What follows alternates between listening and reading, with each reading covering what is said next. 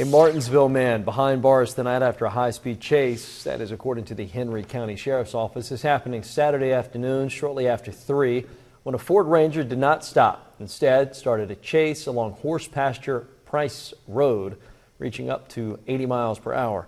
Chase dipped into North Carolina before the truck was forced into a ditch where it was stopped, and the driver, 51-year-old Otis Hill Jr., he was arrested, and he is being held tonight facing multiple charges without bond. Roanoke City Council is addressing the controversial changes to city zoning that would allow multifamily